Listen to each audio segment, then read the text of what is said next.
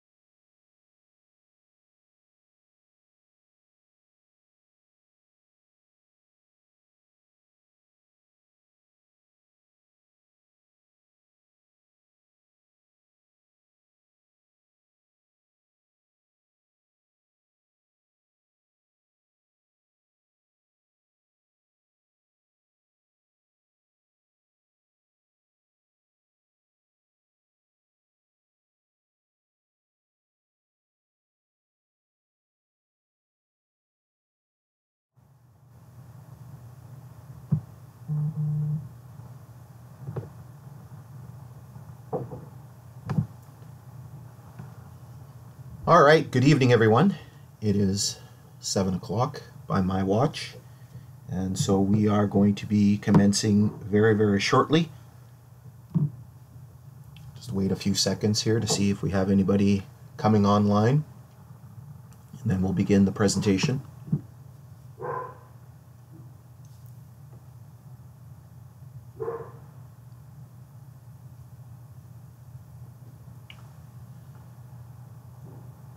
All right, so we are going to get started. Uh, we might have some people joining in later on, but they can always watch the playback and just be a little bit behind us. And so before we get started this evening, uh, just a few little housekeeping items. Uh, so first of all, the comments for this presentation are disabled, and so I will be not, ta uh, not taking any live comments um, during the duration of the presentation. If you do have questions, uh, that you think of while the presentation is underway. Uh, you'll notice a number of uh, items up on the screen right now. And you'll see um, addresses for social media accounts, Facebook, Twitter, Instagram. Uh, you'll also see an email address. You can email me during the course of the presentation, and if I get it before the presentation's over, I will try to answer the question at the end. Um, but in the meantime, uh, we will get started with the uh, with tonight's presentation. So um, tonight is the last online presentation that I will be doing. Um, these started back at the beginning of April, and this is the fourth one that I have done, and it's been a very interesting ride. Some technical issues, working out some sound issues. Hopefully, everybody can hear me uh, tonight. Hopefully, I've got rid of that nasty little echo uh, that's been an issue in the past. So, the topic of tonight's presentation, ladies and gentlemen, is the Paulson Mine and we are going to be taking a look at the history of that particular endeavor from 1885 to 1921. And so we're going to be taking a look at the struggle to try to uh, extract iron um, from what is known as the Gunflint Iron Range. And uh, we'll talk a little bit about some of the intrigues and some of the issues that went on and, and how it all kind of played out, and uh, unfortunately, how every attempt ended in failure. So, uh, before we get started with tonight's presentation, uh, some of you might be tuning in for the first time and uh, not familiar with the presentation or the presenter. And so, just to introduce myself, my name is Dave Battistel, and I am a history teacher in Thunder Bay, Ontario. And uh, I've been at this for quite a number of years, which I'll talk about in a second. And so, on your screen here, you can see uh, a number of photographs. And, and so, I have been teaching uh, at St. Patrick High School for the past 22 years, and I also coach football.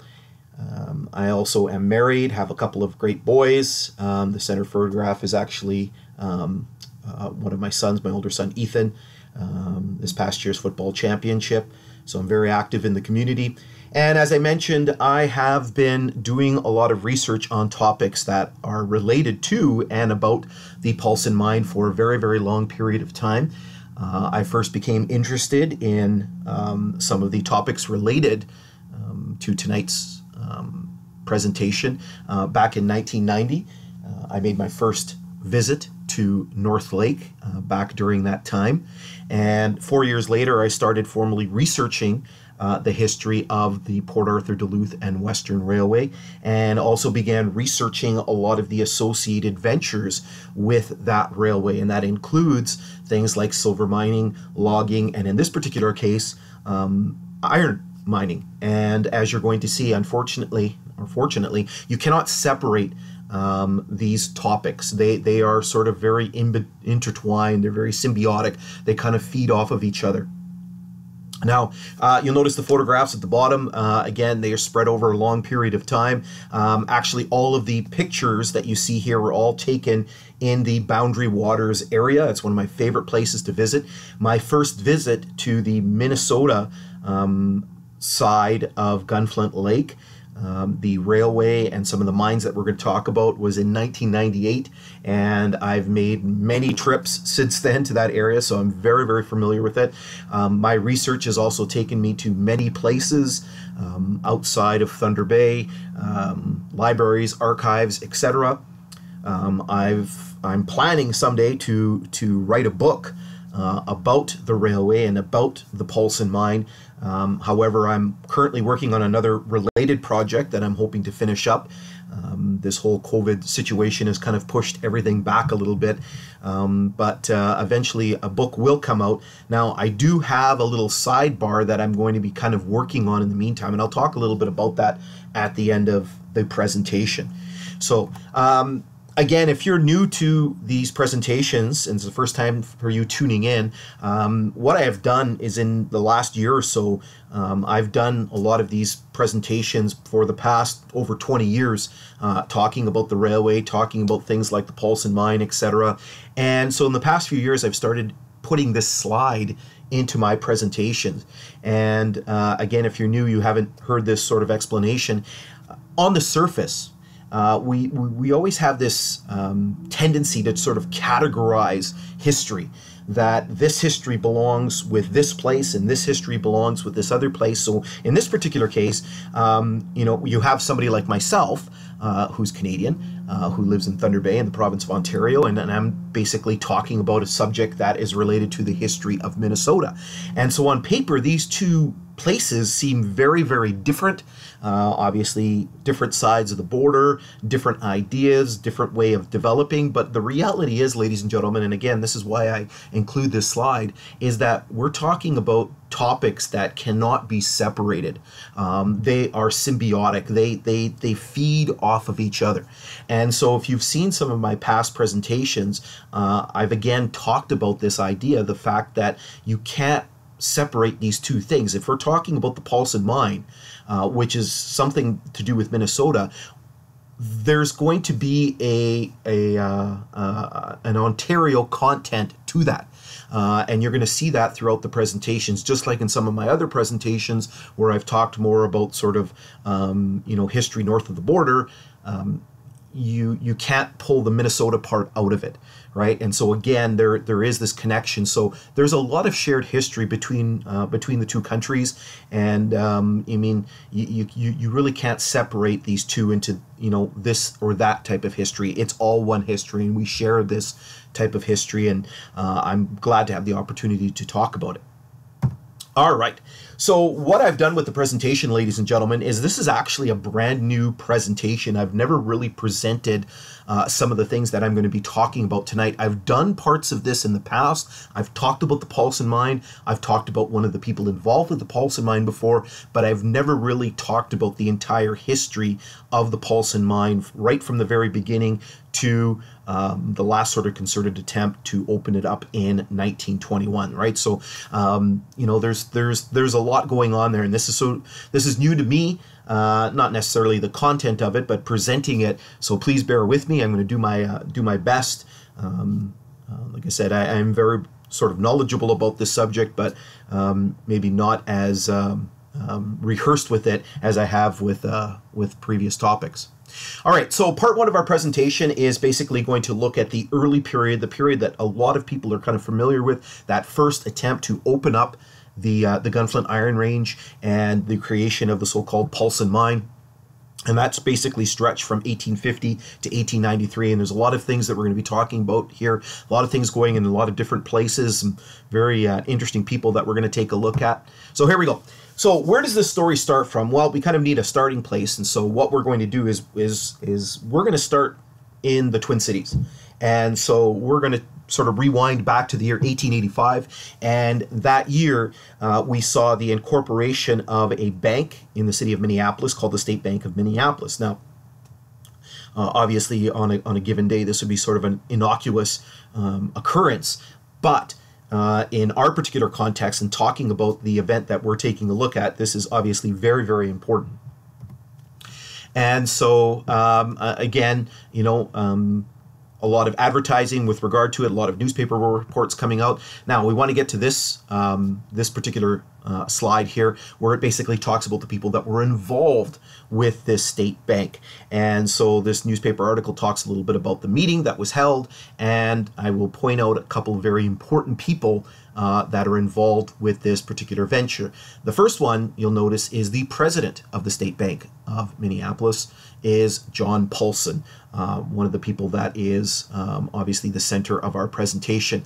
Um, the cashier uh, of the bank, Christian Courtgard. His name is going to come up a lot. Uh, there's some very other notable people as well. Probably the most prominent is A.E. Rice, uh, who was the lieutenant governor of um, Minnesota uh, at one point. Um, personal friend of Paulson. They actually grew up uh, or they spent time in Willmar, Uh, Minnesota together.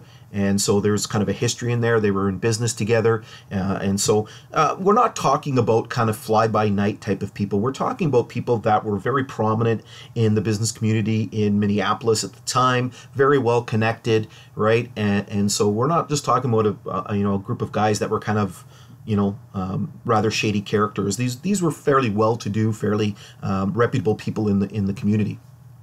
And so, a couple images for you. Um, for many, many years, um, I, as I mentioned, I have done a, a separate presentation uh, on John Paulson. And so, for many, many years, John Paulson was kind of regarded as this mystery person that nobody kind of knew who he was, and nobody really knew the background story of, of him. And as I said, I've done a separate presentation on this and kind of a little sidebar story to this.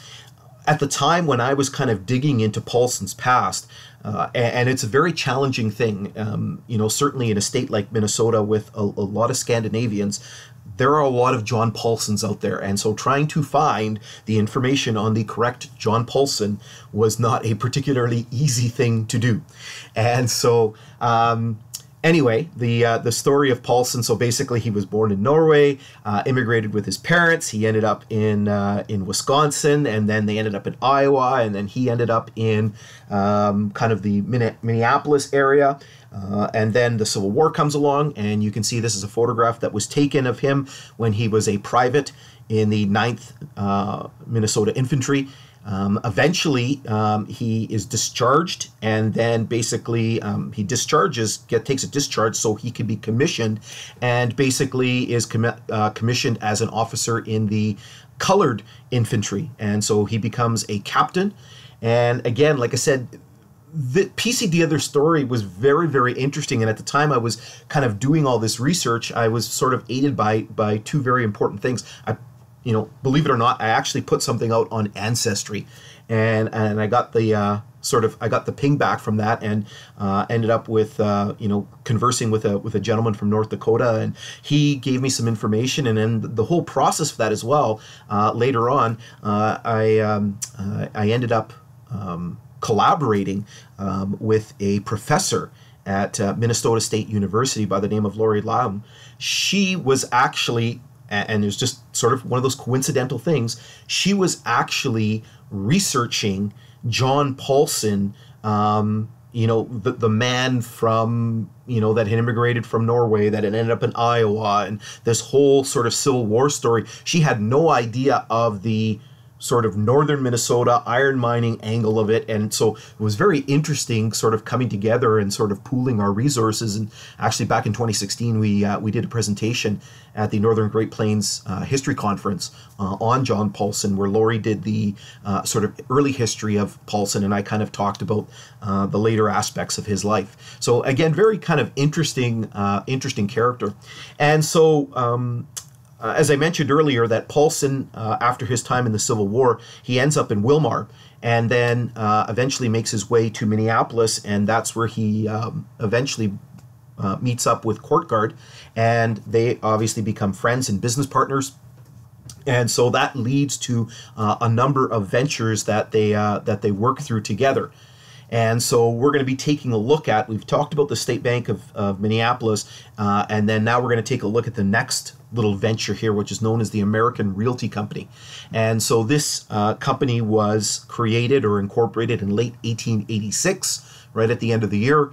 And so you can see the uh, the incorporation article here. And so basically, again, as its name indicates, it was a real estate company, and basically it was a uh, a company designed to to purchase um, land, uh, you know, for these individuals because they have aspirations of doing something. And, um, you know, we're going to talk a little bit about how that kind of all sort of plays out. So, uh, the next thing that we want to do is we want to talk a little bit about how this all kind of ties in with Gunflint Lake. And so, the first mention of iron at Gunflint Lake um, comes from this individual here, guy by the name of Joseph Norwood, uh, does some geographic, uh, some geological explorations in the Gunflint Lake area, and uh, basically he's the first one to mention the fact that there is iron to be found at Gunflint Lake, and uh, it's later on uh, about you know 35 years later that this individual here and for those of you who um, live in the grand marais area will be very very familiar with uh, with henry mayhew kind of a, a legend of the uh, of the area. And so uh, essentially henry mayhew was one of the early pioneers uh, of that area of the north shore and uh, you know again sort of a very kind of uh, uh, legendary figure in the area. And so he was the one that started actually doing explorations around gunflint lake and he was the one that kind of definitively said you know yeah this is where you know there's definitively iron here. This is where i've you know i've located it and this is kind of what gets the ball rolling. Um, and now this little slide here kind of tries to explain a little bit about what's going on. Um, you know, just as a, as a little uh, note here, I am not a geologist. Uh, I am a history teacher and a, uh, and a historian, so uh, I'm not entirely uh, up to speed on all the, uh, ge- the geological intricacies of what's going on. But basically, what has happened and what um, geologists have determined that basically the Gunflint Iron Range, okay, the, that iron formation that's found uh, in the western end of Cook County that extends, as you can see here on the map, that extends well across the border into Ontario, uh, as far north actually. Um, you know, I've seen maps extending it as far north as uh, up there the Sibley Peninsula uh, up here. So it is a very extensive range. And so, what geologists essentially believe happened is that the Gunflint Range and the Mesabi Range at one time were actually connected to each other. And then, um, you know, at some point in geological history, this uh, there was an intrusion uh, of a formation called the Duluth Complex, which basically separated uh, the two formations, right? So, um, you know, particularly a lot of the people who are tuning in from Minnesota uh, are obviously very familiar with the Mesabi Range and, and the iron mining that still goes on in that particular area right? This is just all sort of part and parcel uh, to that. And again, nothing has really been extensively done with the Gunflint range, but um, you know the the the the mineral is there in the ground. So um, this is a little report that um, uh, you know appeared in in a, in a history of, of Minnesota many years later, and it basically talks a little bit about the Gunflint Iron Range, and it says that uh, in 1878, uh, a guy by the name of Winchell uh, and the Winchell brothers were actually uh, ones that were kind of responsible for kind of uh, writing a lot of the geological and, and um, pioneering a lot of the geological history of Minnesota. And so it says that Winchell visited the area in 1878. Uh, and then it says in 1886, an effort was made directed out of Grand Marais, Cook County, to develop the ore. Uh, and it talks about um, the deposits here discovered by Henry Mayhew. And the exploration was conducted by Paulson, Barker, Boyden, and Millar. And those names are going to come up again. And then it talks a little bit about an iron company that was created and a railroad was built. And so this is all the story that we are going to be probing and again, there's a lot of intricacies that are kind of going on with all of the people that are involved here and the companies that we're that we're t- talking about here. Now, one of the things that was mentioned in that previous slide was a rail connection, and so this is where basically the the two stories cannot be separated, the two histories cannot be separated. Um, without um, the in mind, you do not have a railway. And without a railway, you don't have a Paulson mine, right? So these two things are very, very much interconnected. So we do want to very briefly talk a little bit about the Port Arthur, Duluth, and Western Railway. Now, again, I've talked about this railway line in previous presentations, and you can uh, see those um, uh, presentations on my YouTube channel. I'll have some links for you at the end of the presentation. So the Port Arthur, Duluth, and Western Railway was a, a venture that had a very long history. Um, again, it's talked about in some of my other presentations, but um, the the first sort of real um, formation of this company happened in 1883. It was known as the Thunder Bay Colonization Railway Company, and basically its um, charter was to build uh, from the city of Port Arthur, which is now the city of Thunder Bay, in a south southwesterly direction somewhere. Uh, at the time, this um, railways at the time, because of an arrangement with the government, railways were not allowed to build south of the Canadian Pacific Railway into the United States. And so they were kind of a little bit in limbo here. Uh, and it's probably one of the reasons why this railway kind of never really got off the ground. And so four years later, in the year 1887, they, they decide to change the name of the railway to the Port Arthur Duluth and Western Railway. So that happens in 1887. And there's also a change um, with the route of the railway as well. And that coincides with basically a change in the position of the Canadian government, uh, thereby sort of allowing the um, um, you know railways to cross into the United States south of the Canadian Pacific line. So this is the first time we actually see a mention uh, of the line.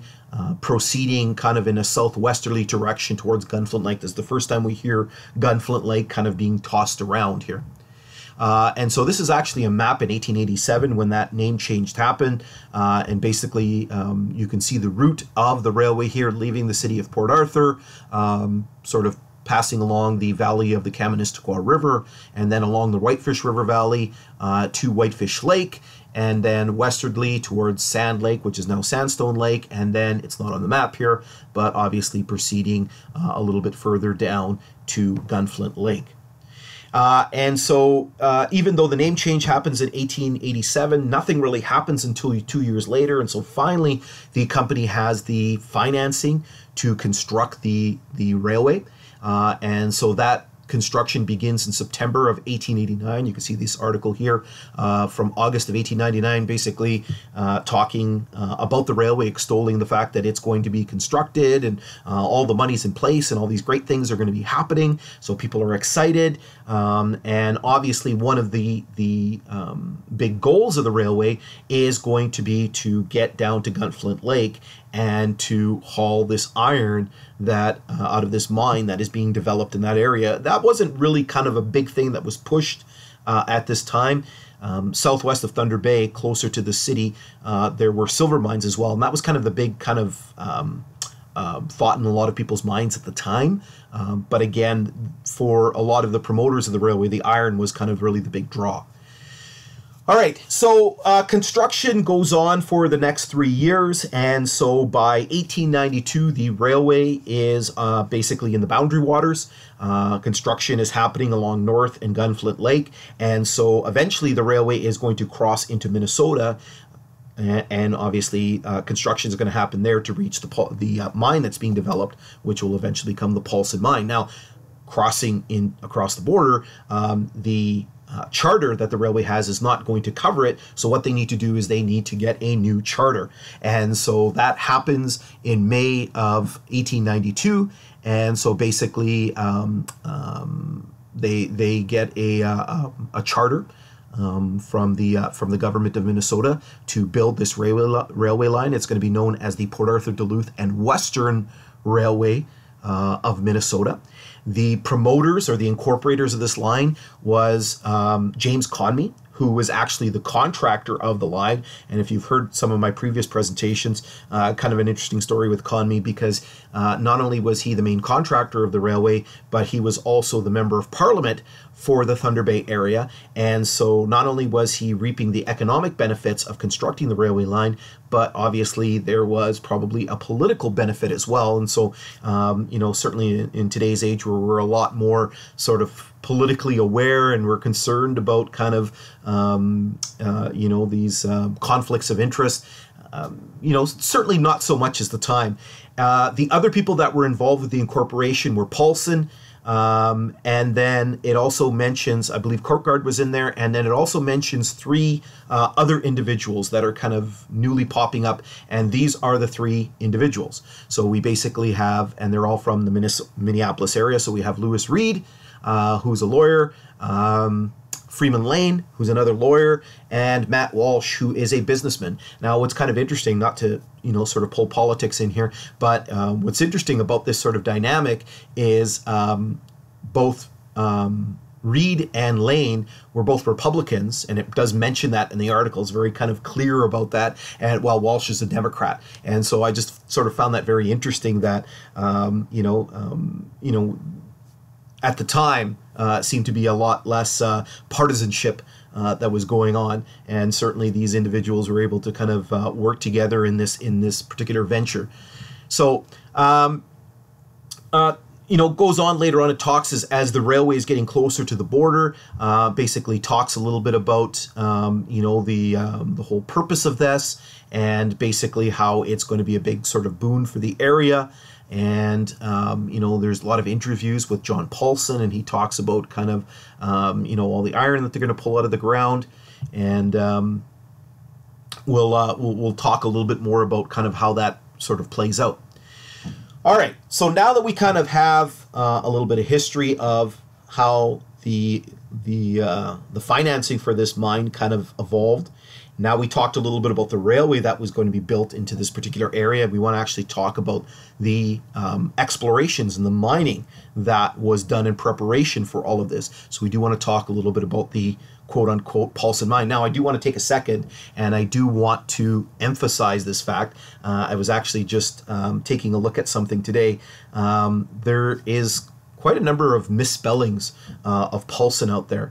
Um, actually, I was looking at the um, uh, uh, U.S. Forest Service uh, brochure for the uh, Centennial Trail, which will allow you to visit some of the things that we will talk about here. And actually, Paulson is misspelled on there. It's spelled S E N, not S O N. Um, I mean, not a particularly big deal for me, but I'm sure there are some people out there in the um, you know, in the in the idea of uh, being exact, and certainly uh, you know people of Scandinavian background. Uh, I'm sure there's some uh, um, big differentiations between SON and SEN. So um, if anybody's listening out there, we need to make sure we uh, we clean up the spelling. Okay, so um, obviously, if iron is going to be extracted from the ground uh, in this area. There's obviously have to be a company that is going to look after this. And so in March of 1892, um, the Gunflint Lake Iron Company is incorporated. The incorporators are Courtguard, Paulson, and another new individual that kind of um, makes his presence known, a guy by the name of Orrin Kinney. And he's from Ely. Um, and basically, it, you know, and there's another article. I don't know why they I don't know if this was a typo. They stuck somebody else's name in there. Uh, I've never heard this this Marcus Johnson ever used anywhere close to um, anything to do with the Paulson mine. So I'm not sure why his name uh, ended up in there. But basically, uh, it talks about how this company owns property in Township 65. Uh, range 4 in Cook County, uh, and basically it's very close to the present terminus of the Port Arthur Railway, uh, and everybody's been excited and uh, talks about Paulson being an, expire, an experienced Minneapolis mining man, and everybody's all excited. Uh, and so we've seen Paulson and Courtguard. So here's a picture of Kinney. Uh, what's interesting about Kinney is his trajectory was very different from that of Paulson and Courtguard. His kind of kept going up after uh, this whole um, um, you know effort uh, at the Paulson mine. He eventually ends up down in the uh, uh, in the Iron Range, and um, the town of Kinney.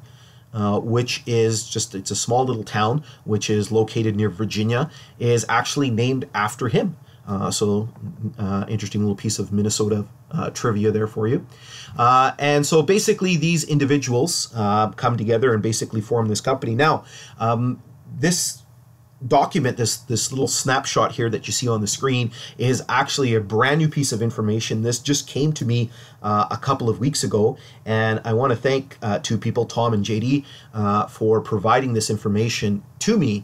Uh, basically this it comes from a notebook. They are available online. Uh, these are from the notes of a guy by the name of U.S. Grant um, kind of shocking American name. Uh, and yes, his name was Ulysses Ulysses S. Grant, um, obviously named after the uh, the famous um, Civil War general and president. And basically, what he did was he did a lot of uh, geological explorations uh, in the area along the Canadian border. And basically, his notes are now digitized. And so this is a snippet from it. And so what it says in this particular um, uh, entry, which comes from September 28th, 19, 1892. says the Gunflint Lake Iron Company is, um, ha- sorry, the Gunflint Lake Iron Company uh, has leased the lands for 20 years. Uh, and it says the owners are the American Realty Company, which we've already talked about, which was basically um, that company that was set up by Paulson and Courtguard to purchased lands so that they could mine them. Uh, it also mentions John Miller, whose name came up earlier. Uh, it mentions a guy by the name of H.C. Ackley uh, from Minneapolis. Um, uh, it mentions a S.B. Barker, whose name came up earlier. He's from Chicago, and a Charles uh, Boiderman uh, from Ann Arbor, Michigan, and it also mentions another guy by the name of Nick Probeck. Uh, now he's another character, kind of a uh, he's a whole separate story of him, kind of lived most of his life on Gunflint Lake, kind of very interesting character. Then it talks a little bit about here that um, the Gunflint Lake Iron Company, where Courtguard is the president. Um, sorry, Paulson's the president, Courtguard's the secretary and treasurer, and Kinney is the vice president. And then it says there are several other stockholders, which we don't know who they are because they're not mentioned. So I think that was that was a little interesting tidbit. And so, um, sort of rewind a little bit. Here's an article that kind of talks a little bit about uh, Paulson, and it talks uh, a little bit about um, you know his ideas for the um, you know um, you know, for the exploitation of the iron in the area. And so it talks a little bit about, um, you know, John Paulson. He's a veteran iron explorer uh, who went through the booms in the Gogebic and, and Menominee ranges. Uh, and, and that's something that I never really touched on. As I said, um, previously, I did do a whole presentation on John Paulson, and I do talk about kind of that history where he was involved in some of those other uh, iron ventures. And so this was, again, not sort of some fly by night type of guy. This was not somebody that was just kind of his first kind of kick at the cat here. This was somebody who had been involved in the iron business before. And I firmly believe that these guys thought that this was going to be something that was going to make them piles of money. Um, and and you know in this article he talks a little bit about some of the things that are done, the drilling that's happening. Uh, I like this one here. It says, "It's Mr. Paulson is a plain matter of fact man," um, and it says, uh, "I like this part." During the excitement in the South, uh, which is a very eloquent way of talking about the Civil War. Uh, it says he was in Georgia and Alabama, was instrumental in opening up several of the ore fields there. Uh, and, and we've never really been able to find any information about kind of what happened there. Uh, essentially, we know that he was involved in the Civil War. We know that he was a captain in the colored infantry, uh, that he did after the war spend about a year or two in Texas before um, making his way back to Minnesota. Um, kind of, um, you know, interesting uh, backstory to him. Um, now, uh, eventually, what happens is the Gunflint Lake Iron Company signs an agreement with the railway, and they agree that over a 10 year period that they are going to ship 1 million tons of ore 100000 tons per year over the railway and again this is the main reason why the railway was built uh, to Gunflint Lake was to specifically access that mine. And again, there's that symbiotic relationship. The, the mine needs the railway to export the iron. The railway needs the mine to make revenue because the, the eventual goal of the railway is not just to terminate the Paulson mine. They eventually want to build through to Ely um, and so that they have a connection to Duluth, right? Uh, and the terminus of the Duluth and Iron Range Railway uh, Railroad is at Ely, and so that was the idea was to basically have that connection. Uh, and so then it goes on as, as, as sort of work is going on. Here's an article talking a little bit about uh, the Cambria, which is one of the steamers that was that makes trips between uh, Duluth and uh, Port Arthur and Fort William, uh, bringing a steam hoist to the Gunflint Lake Iron Company for their operations at Gunflint Lake. Uh, then fast forward to November. here's one of those misspelling of Paulson's, um, basically talking about how he's rushing things along at the Gunflint mine, building new camps, sinking shafts, digging ditches, etc. Uh, and then this one here, uh, you know, uh, into December of 1892. So the railway now is pretty much complete. Um, so it basically says that um, uh, he's conversing with the reporter, and he says that affairs of the mine are progressing finely. Uh, 30 men being now employed opening the deposit. And he expects by springtime to have 150 men at work. So th- there's a lot of big things that are happening in this particular area. Now, um, uh, I did mention that I'm a history teacher. My other teachable subject is geography, so I'm, I'm, i have an affinity for maps. And so um, here's a little map for you. So if you're sort of familiar with the area, so this is basically the western end of Gunflint Lake over here, and basically you can see the Gunflint Trail. And so essentially, we're talking about this area here uh, was very, very heavily explored and is full of iron. Um, you know, um, some people in the area might be familiar with things like magnetic, magnetic rock, okay, which is a very popular sort of uh, hiking spot. Okay, there, there's a lot of iron in the area. So uh, when we're talking about the workings here of the Gunflint Company, we're going to be spending a lot of time right here. So just to the west of the Gunflint Trail, this white line that you see here is basically the Kekekabic Trail. And so uh, essentially, a lot of the things that are happening right in that area, and again, one of the reasons why that trail exists is because it was the original wagon road uh, or trail to get into that area.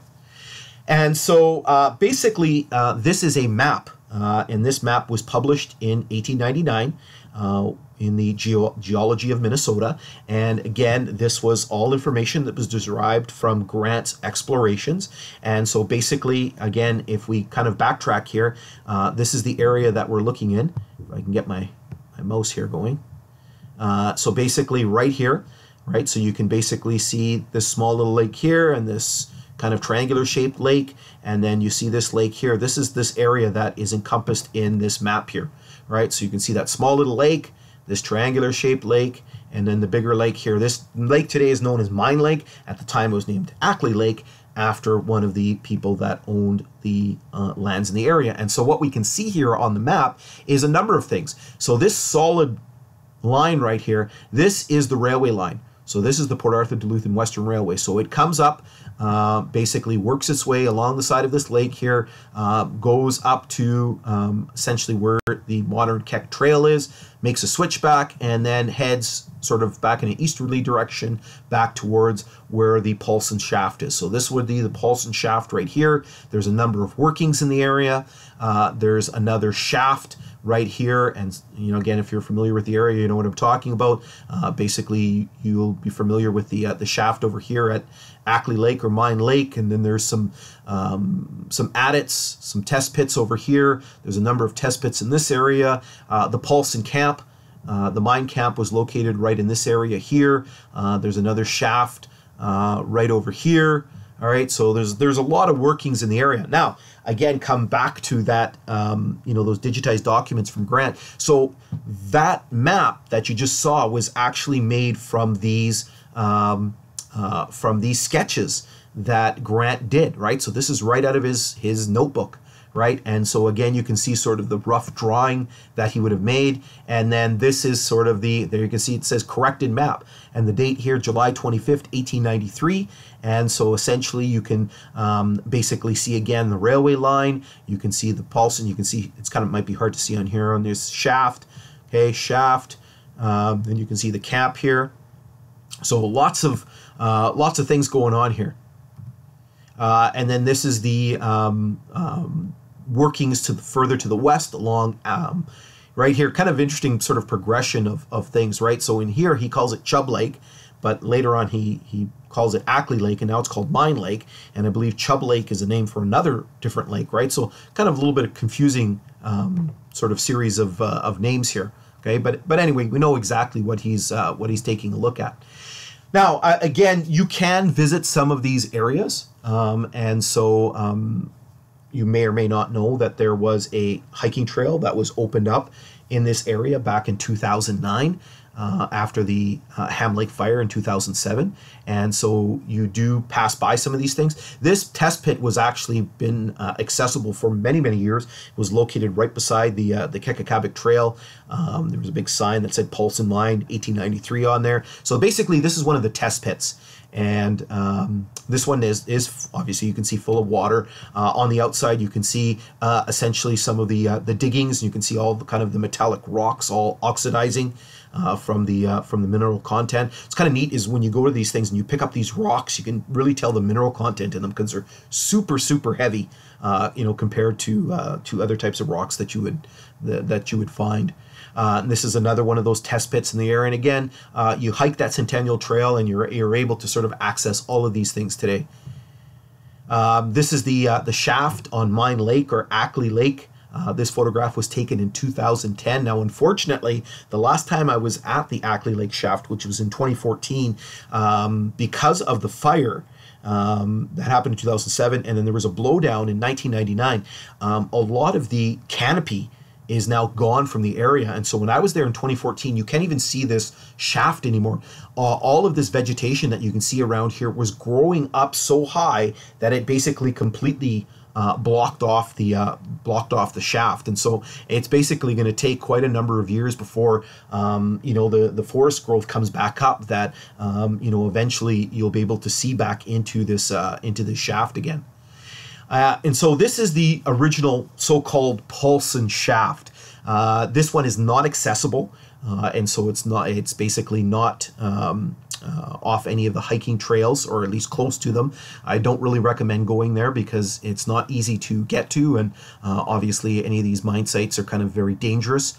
Uh, because of erosion and uh, instability. And so basically, it might be hard for you to see in there, but you, you can see uh, essentially the, uh, the wooden line shaft is still there. Apparently, the shaft is about 105 feet deep um, that you know was was measured in the past, and so this was the uh, the main shaft, and so this was where the railway line basically terminated, and uh, essentially on the north side of that shaft, basically you can see uh, all of again all of the uh, the um, the rocks that were excavated from the shaft, uh, again all kind of that burnt uh, orangey color, all oxidizing from the the mineral content in there.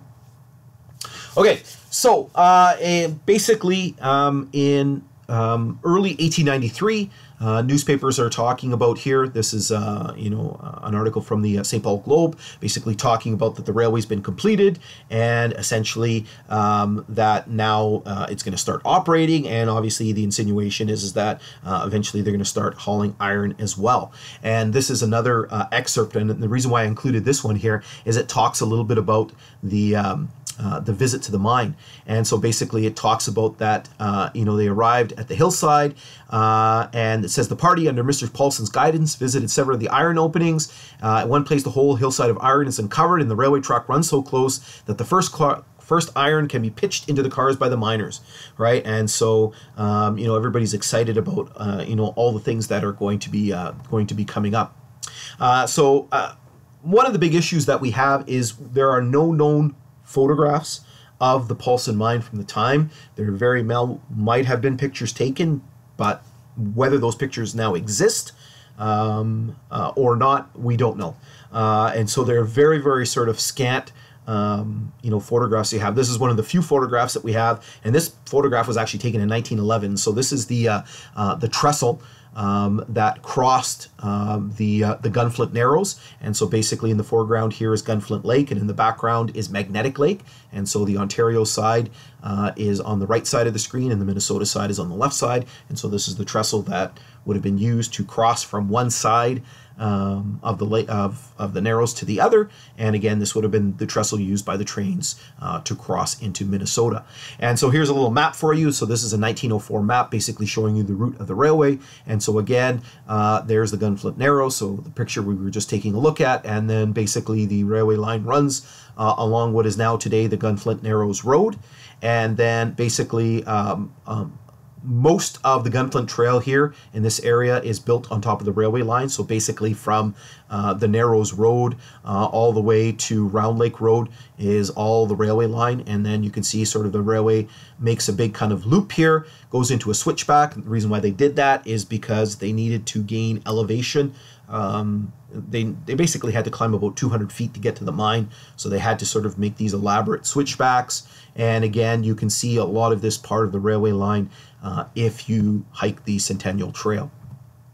And so again, just a little close up, okay, where the uh, uh, obviously the, the notation of the Paulson mine here, um, located in section 28 uh, of the uh, uh, of the township.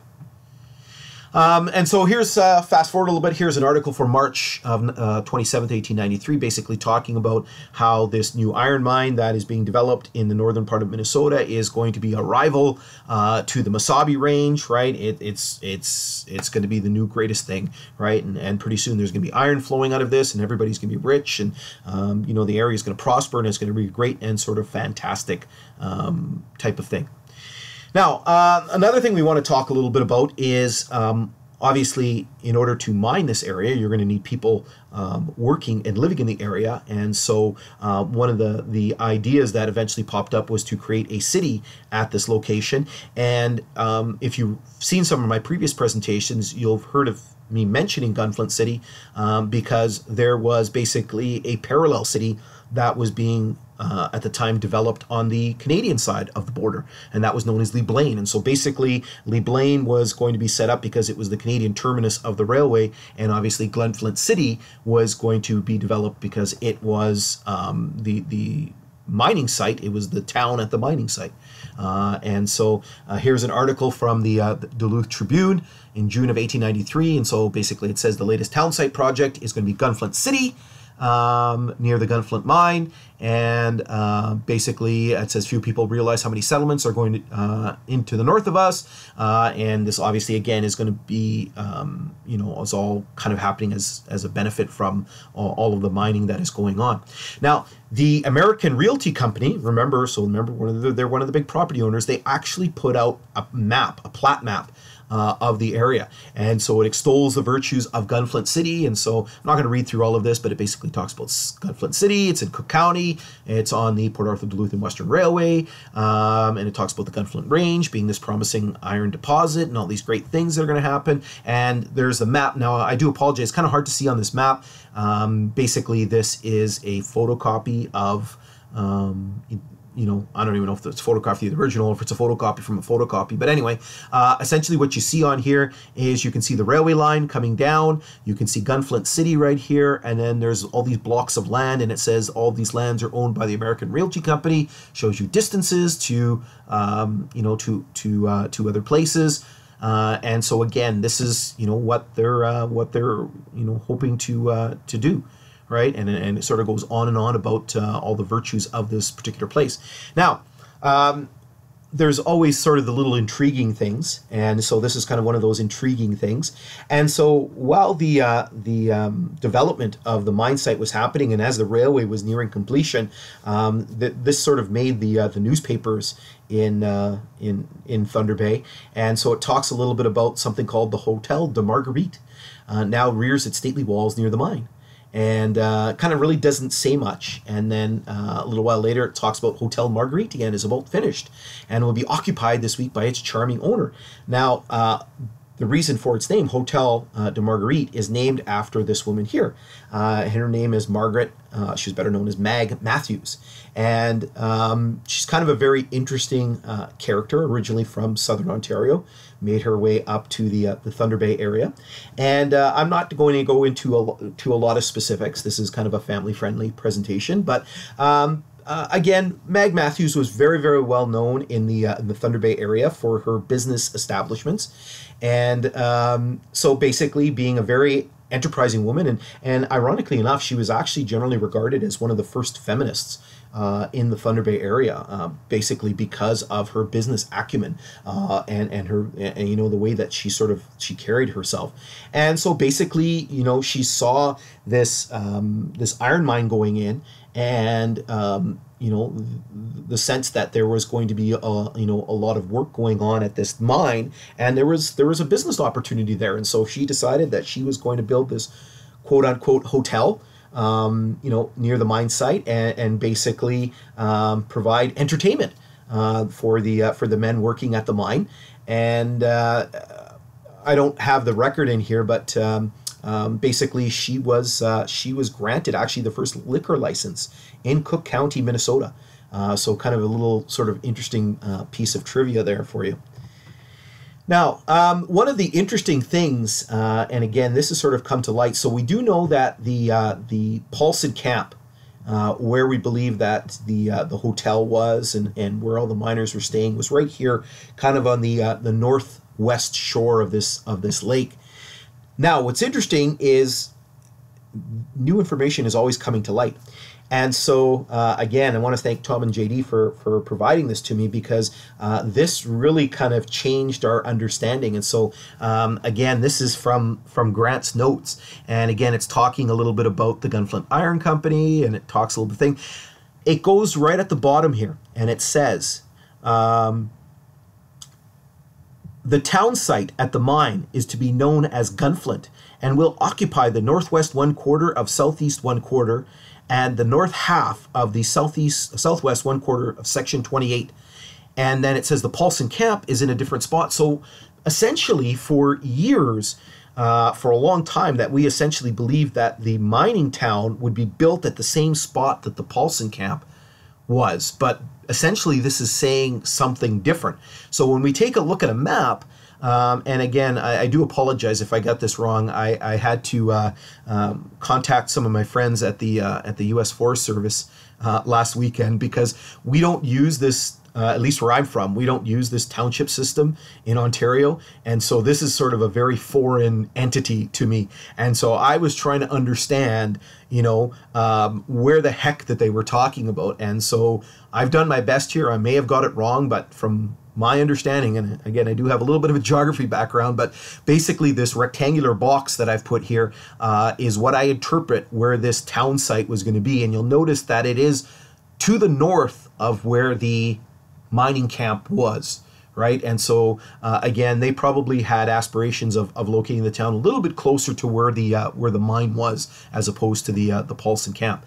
So now, in speaking of the camp, um, this is basically the camp site um, as it appeared in 2010. So this is I'm essentially standing on the railway grade, looking across uh, the piece of lake here towards that northwest corner of that unnamed lake.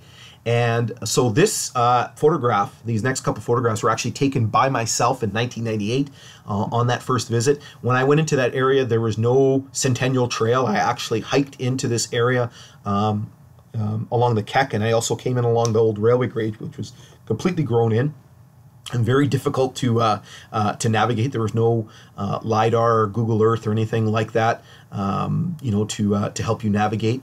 Um, these next series of photos actually uh, are courtesy of the uh, the U.S. Forest Service that um, you know they sent to me, and so this is the remains of one of the structures in 1998. I don't know when these pictures were taken. I would assume probably in the 70s, and you can see there's a lot more visible at the Paulson camp. Uh, you can see sort of the remains of some, some of the uh, the structures that were there. Sadly, after the blowdown and the fire, there's essentially nothing left to be found there.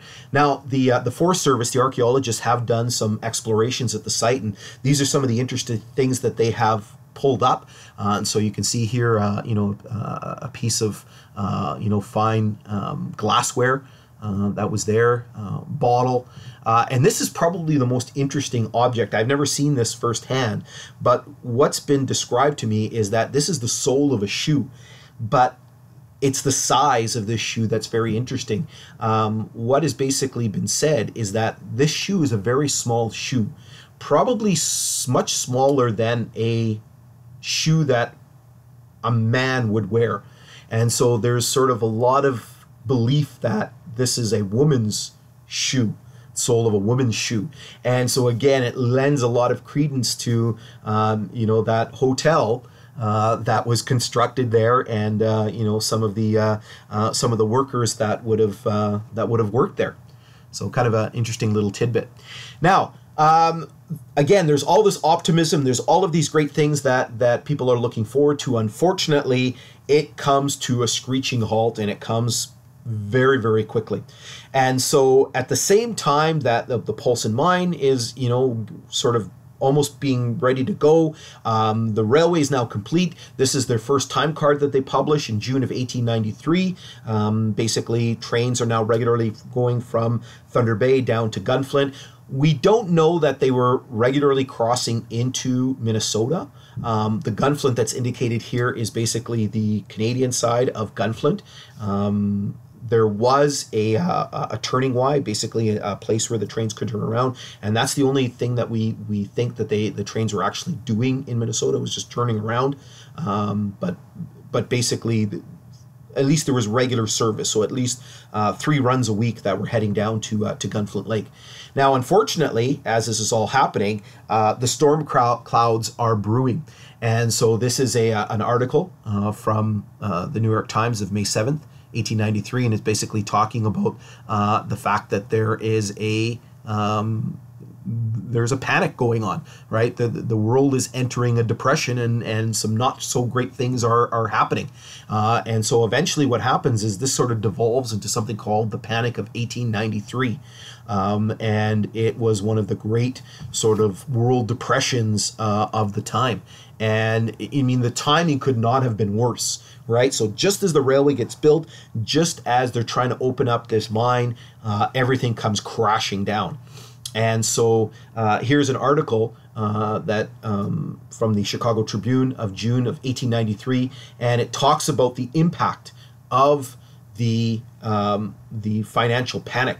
And one of the big things that was happening was uh, a lot of people at the time did not trust banks and they were worried that the banks were going to go under. And so what would happen is a lot of people would go to the bank and essentially try to take their money out. And so this article um, essentially is saying that. Um, the State Bank of Minneapolis suspended payment today owing to heavy withdrawals of deposits uh, since March. Uh, the total coming to $100,000. There was a meeting of the heaviest depositors at the bank today, but President Courtguard, so at the time Christian Courtguard was the president of the bank, could not be present to meet them. The idea of having to close his bank having completely prostrated him, right? So he's basically so upset that he is like having medical issues right? Um, and um, you know, but everybody's like, no worries, no worries, right? It says the bank's attorney states the suspension will be only a matter of days when the bank will resume business. Um, you know, prominent directors stated that there will be absolutely no loss to the depositors. Uh, the securities of the bank are in excellent condition. Da, da, da, well, they're saying all of this, but this is not the case, right? And essentially, uh, from what we can piece together, what's happened uh, is um, obviously all of these uh, explorations, all of this um, iron business that was going on costs a lot of money. And um, we're sort of assuming that maybe not all the financing was in place. So what we think happened was Courtguard was basically funneling money from the bank into the uh, American Realty Company and the Gunflint Lake Iron Company. Now, again, I really don't believe now that's very shady, right? And and not um, you know sort of a very legitimate practice. But uh, I really really think this was not done to to to basically um, you know you know defraud the people that were were, were investing in the bank. Uh, I legitimately think that these guys thought that this iron deposit was going to make them rich.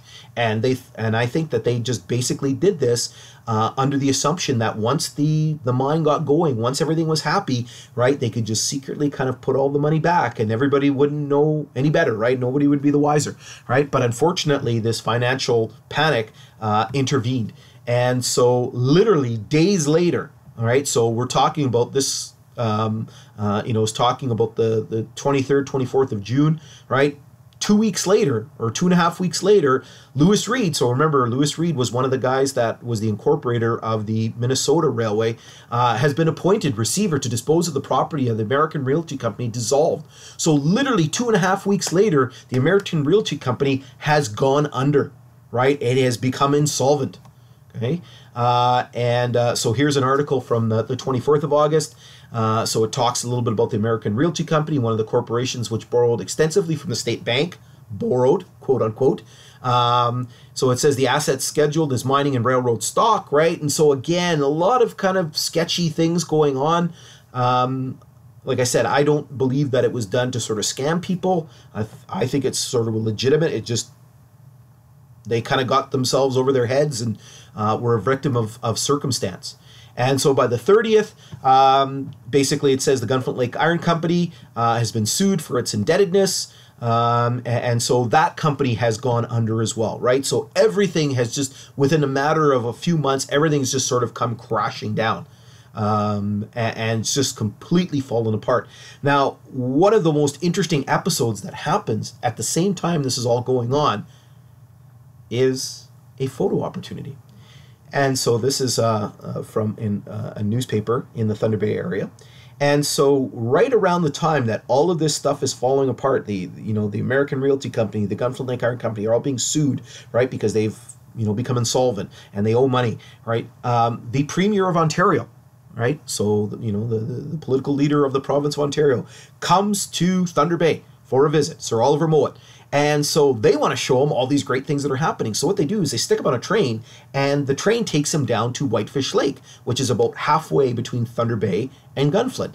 And so at Whitefish Lake, his train is met by a train coming from the west, coming from Gunflint Lake. And I don't know if you make out the title of the article here, talks about the car of iron ore.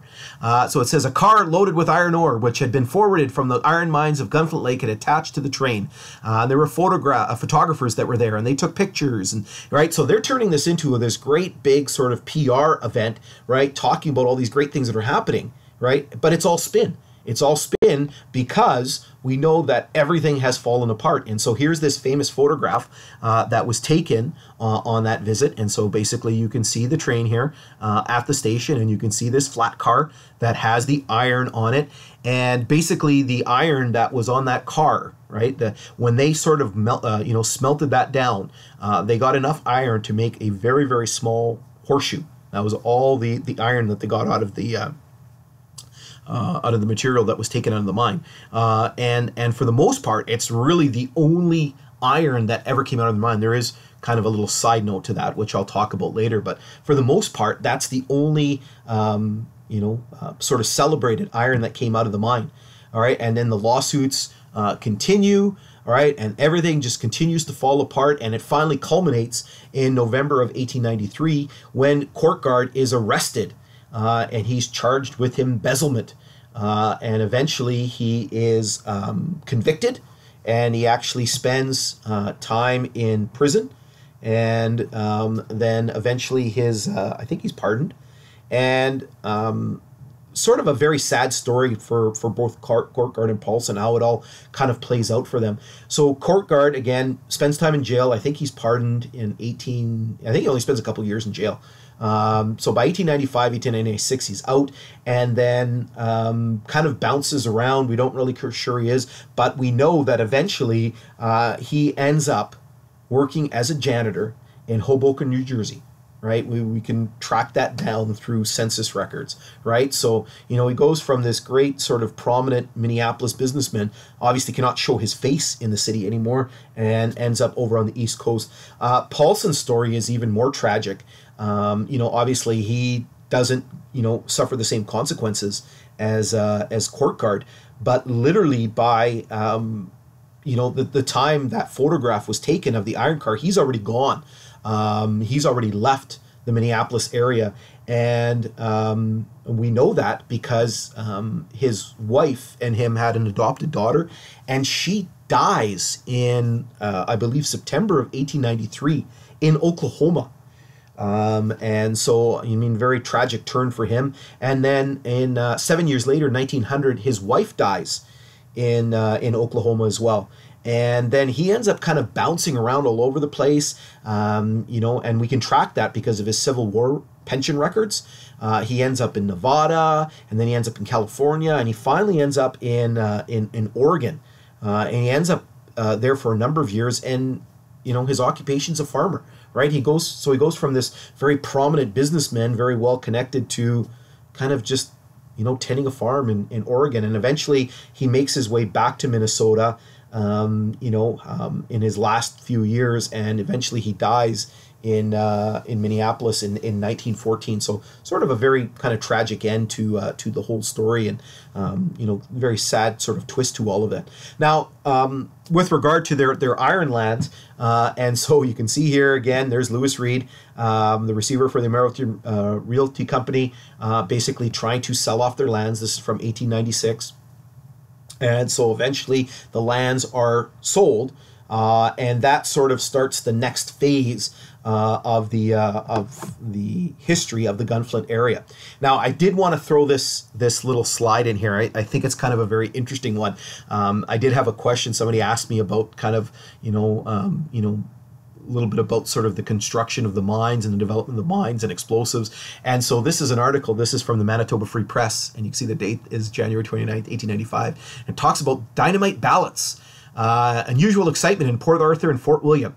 Uh, and so essentially, what the story is, um, and so I'll just read it to you. It says, There is very nearly being what is seemed uh, it's it's uh, termed usually a dynamite out, uh, outrage in Port Arthur on Saturday last. It appears that the Gunflint Iron Company, who were mining at the end of the terminus of the Port Arthur Duluth and Western Railway in Minnesota, left when they failed during the Panic of 1893 some 71 boxes of dynamite stored at the mine. Some enterprising Port Arthurite stole it, then smuggled it across the boundary uh, brought it to Port Arthur on the railway, and then stored it in a vacant building. And then what ends up happening is the authorities find out, and then basically the customs uh, guys come and confiscate it, and then they move it to a secure spot. But now nobody knows what to do with this stuff because who does it belong to?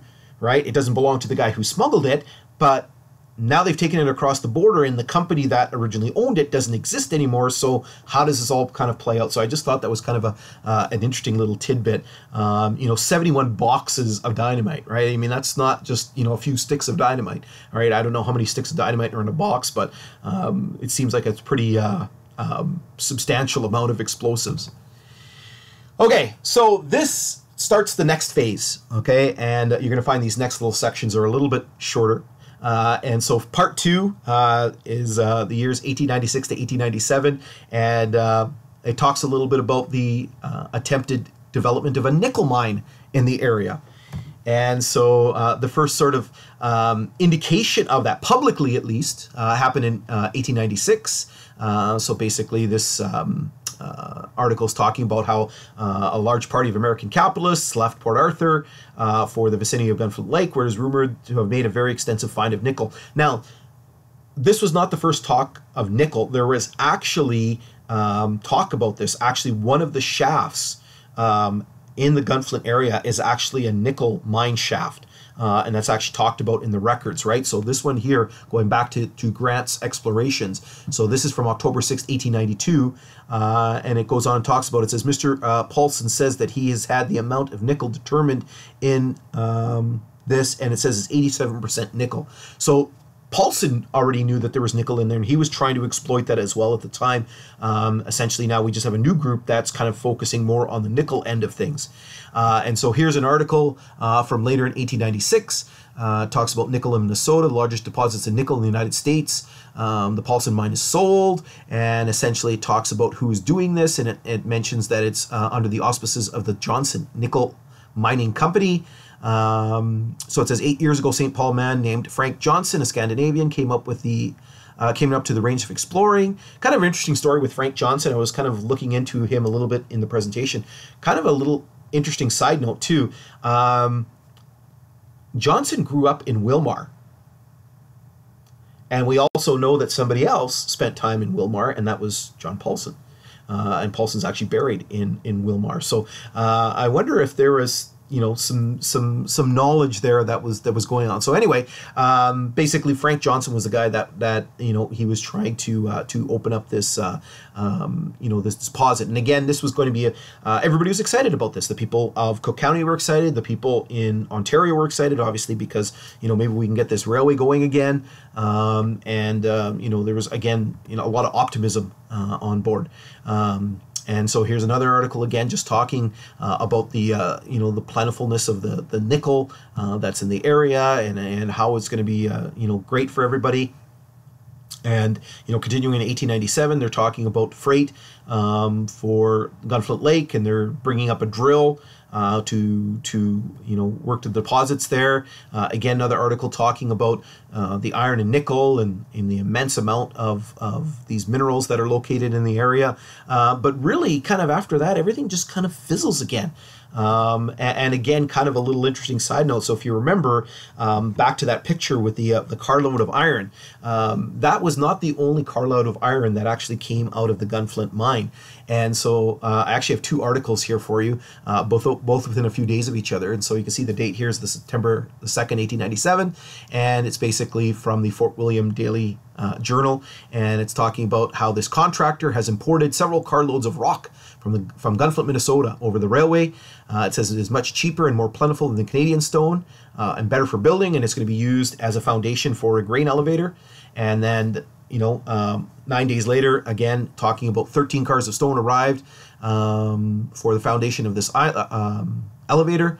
Uh, it says this is the first consignment received of this work. The total amount to be brought here will be you can't read the number of cars. So somehow or another that got cut off. It says the rock is low grade iron ore that was taken from the Paulson mine, as the only cost is duty and transportation. So basically, they're just taking uh, all of this leftover um, iron uh, ore uh, that's just sort of kicking around and nobody has any use for. They're just essentially just throwing it in, in cars and, and shipping it down to uh, uh, shipping it up to uh, to Thunder Bay. Okay, so after that sort of all kind of fizzles, right? Then there's a few years that kind of pass, and then there's another uh, attempt that's made. And so around about 1900, um, you know, we start hearing reports again. So uh, the Algoma Miner and Weekly Herald is a Thunder Bay newspaper, and it says uh, cheering reports coming from the old Paulson mine. Um, so it says Northern Road runs to the mine carrying supplies and mails once a week. Uh, it is said some of the ore from this mine will be shipped this summer. So again, everybody's kind of getting pumped up and excited um, that great things are going to be happening. And then fast forward a little bit. This is kind of a uh, an interesting article. So this one's from October of 1900, and it actually talks a little bit about a uh, a labor issue. Uh, so it says um, basically that uh, on the train arriving from Gunflint, there were 13 men uh, who had been uh, working until recently for the North American Mining Company on an iron mine, which is well known here as the old Paulson Mine.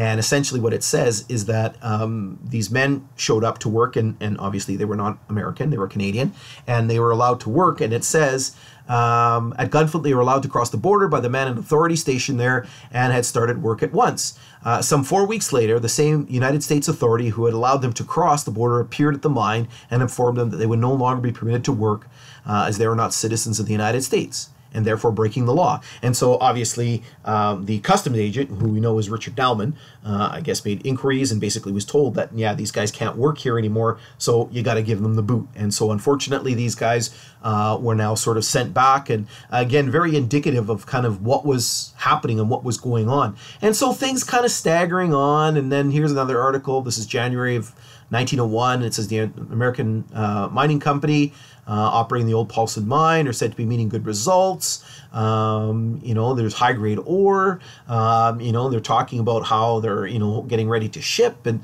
um, you know, it's a very common thing, right? You know, we're getting ready, we're getting ready, ready, ready, but nothing really happens, right? And uh, fast forward, uh, you know, a few weeks, and uh, this is into February of 1901. It talks about the uh, the miners of the Paulson mine are on strike. Uh, they want a 25 cent raise. Um, and, and so it says uh, basically these guys are going to get fired uh, and they're going to bring in new men. And it says the wages paid at present are 200, uh, 200 $2.25 per day uh, is what they were making to work at the Paulson mine.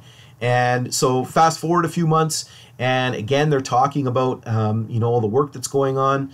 Uh, the North American Iron Company has been working away um, for a year, and they're putting in seven diamond drills and uh, showing seven million tons of hard magnetic ore, and they're getting ready to ship and then nothing happens right so again it's just sort of let down after let down after let down now um, what's interesting is we do have a map um, of this particular area and uh, the date of the map is kind of confusing because i've seen this labeled 1905 i've seen it labeled 1915 kind of really bizarre kind of thing and you can actually see the different sections here um, and so you can actually see the different um, uh, property owners right?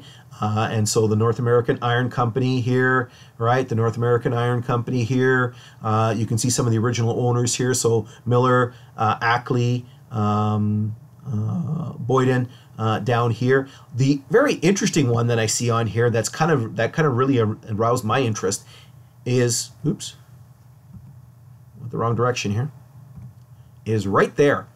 This little section here is owned by the Duluth and Iron Range Railway Railroad Company. Uh, and I thought that was really, really interesting um, because it kind of obviously one of the things that was often discussed was this link to, um, you know, from Gunflint to Ely. And uh, in 1897, the Duluth and Iron Range had actually done a survey uh, and they basically done a cost analysis of building from Ely to Gunflint Lake, and um, I guess they weren't happy with the, what the cost came across. It came it came out to be something like two and a half million dollars to build from Ely to Gunflint. Um, but I don't think they ever dropped the idea. And what was interesting is um, they're in the um, Library and Archives Canada, which is located in Ottawa, which is Canada's uh, national uh, archives. Um, there is a, a letter that was received by Canadian Northern Railway, who owned the Port Arthur Duluth and Western Railway at the time. Um, um, basically, this letter was addressed to them by the Duluth and Iron Range Railroad Company, and they were inquiring if they had a map of the uh, railway line in Minnesota. And, and, there's nothing sort of beyond that. There's just a couple of letters, um, you know, uh, a collection maybe of five or six sheets of paper in this file. But I, I just find it find it very very intriguing that you know the Duluth and Iron Range actually owns some some land, um, you know, just south of um, you know, Section 26 here in that general area. And, uh, you know, around that time, they're kind of making inquiries about, you know, where's the railway line in the area. So, um, like I said, kind of a, a, an interesting little sort of tidbit. Now, um, for the sake of brevity, we don't have time to sort of go through everything that kind of happened from that early 1900s event uh, up until the last sort of event in, in 1921. Um, you know, it, there's nothing really significant that's going on. Um, after I'll kind of point you to a source where you can you can read about some of the um, you know little things that were going on. There was there, there were some explorations going on. There was an exchange of land. Um, those types of things are going, on, but nothing super significant. The the next really big thing that happens uh, happens in 1921, and it happens very very quickly, and it's uh, kind of very very explosive, and then it just kind of like everything else just very quickly just disappears. All right, so where does it all start? Well, in November of 1920, uh, this is a uh, uh, article that appears in the uh, the Cook County News Herald, and so basically it talks about this Arthur Mitchell, who at the time was well known in the Grand Marais area because he had actually tried to do some railway ventures and kind of had done some mining exploration in the area. Basically, he was up here with a, a, it says a party of explorers from Chicago. Uh, and um, he talks about one of them is the uh, editor of the largest Polish daily in the United States. And then there's another guy uh, this Joseph Mierzinski. Uh, I do apologize. Some of these names are, are, hard to pronounce, and I hope I'm doing it justice. Um, basically, is one of the members, and kind of remember that name because it's going to come up very, very shortly. So, um, okay, what's sort of going on? And then, sort of the next little kind of thing that happens uh, in March of 1921, um, there's talk in the city of Port Arthur uh, about uh, an iron mine that is located to the west uh, of Thunder Bay uh, being sold. And one of the things that um, was in the city of Port Arthur was actually a blast furnace uh, that had been built uh, to refine iron that had basically been um, you know constructed to uh, to accommodate you know um, sadly all these failed iron ventures. Uh, and so it talks a little bit about that in there, right? So some, something's going on. And then all of a sudden, um, you know, about a month and a half later, in the uh, one of the Port Arthur newspapers, uh, we see this article here that talks a little bit about uh, there's plans to repair the old Port Arthur Duluth and Western Railway, uh, and so it says that the uh, the general manager uh, of the the company that owns the railway, which is now Canadian National, uh, Railway, which CN, which still exists today, um, basically arrived in Winnipeg and, and they basically took a trip down the railway. And um, it says that it is understood the officials are making a complete survey of the PD road in order to determine which portions may be repaired and which parts require rebuilding. In connection above is also said that there's a possibility of the Paulson mine reopening. Uh, but this has not been confirmed, right? So there's kind of rumors floating around there, and then uh, a couple days later, right? You know, these guys are back from their for their trip, uh, and so it says regarding the rumored development of the PD uh, from North Lake, um, uh, this guy, you know, the, the people refuse to talk. We have nothing for publication, right? And so, you know, something's afoot, something's going on, but nobody knows specifically what's going on. Well, a, a month later, the cat comes out of the bag. And so this is an article and it, it, talks a little bit about how the Chicago Capital will extend the railway to the ore fields, bringing the product here. And um, I just want to stop here for a second, and I want to talk a little bit about this. Um, this is one part of the, uh, the, the the history of the Paulson mine, which I knew about in the past, and, and, I did have some information about it. But this is sort of really kind of um, interest me, interested me of, as of late, and, and, I'll give you a little reason why. So back in February, um, I got a, an email from the uh, from from Carrie at the, the Cook County Historical Society, and she had received an email from from a lady that was you know had found in, in her uh, father's papers or somebody's papers that basically this stock certificate for this mining company and she wanted to kind of know about it. And so of course carrie emailed me and said you know can you you help out? And i said sure i know a little little bit about this. And so uh, i don't know why this kind of sort of triggered me a little bit. And at the time i um, um, you know as i mentioned i am kind of working on a book that's kind of related to some of um, you know all of these things that I'm that I'm taking a look at. Um, but I thought, well, you know, I'm kind of stalled a little bit with with with the book right now because I, I have some things that I need to uh, to get to, which are now on hold because of the uh, the pandemic. Um, but basically, I said, uh, I'm kind of this is kind of intriguing a little bit. I want to kind of dig a little bit into this, and, and so I started doing some some some research, and I'll uh, I'll kind of talk a little bit more about this as I as I kind of go through this. Uh, and so the article continues. Uh, so it talks about that this gentleman who's representing a, a, company known as the Palatine Mining and Development Company of Chicago, uh, and says they announced that they want to purchase the blast furnace, right? So that blast furnace that I talked about in the city of Port Arthur. He said he also outlined the proposed plans of the company with respect to the development of iron ore resources in Cook County, Minnesota, where the company controls upwards of 2,200 acres. Uh, it says, and it basically goes on the fact that uh, at the time, the railway terminated at North Lake and had basically not run to Gunflint in almost 20 years. And so it's talking about how they're going to have to rehabilitate uh, parts of the railway line and how all that work's going to kind of play out.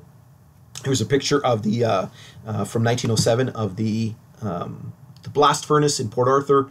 Um, you know, essentially their works, and uh, this was the um, um, the building and the enterprise that was going to be purchased by this Palatine company. And so then, you know, another article talks a little bit about what's going on. So it says uh, by October 1st, the railway is going to reach the border. Uh, 50 men now engaged in ballasting, right? So again, this railway railway line's been neglected for 20 years. Um, there were actually forest fires that destroyed several bridges. Um, probably the biggest one was a 1,000 foot trestle on North Lake. So it goes on and talks about that. Um, um uh, tenders for the construction of two bridges. So it says one is a thousand feet long, the other 500 feet. Uh, he wants the this gentleman, Mr. Hogan, wants to get everything going as quickly as possible. Um, you know, he talks about that he is representative of the Palatine Mining and Development Company, and um, um, you know all these great things that they're going to do. Uh, and then you know at the same time we see this article coming out of Minneapolis, and it's the title is Minnesota's deserted village may attempt to come back, and it's talking basically about you know, Gunflint and, and the area around the Paulson mine. And this article goes into detail about kind of all the things that were happening. And, and what's interesting as well too is it talks a little bit about going back to the uh, the original days, back to the the, the Paulson days.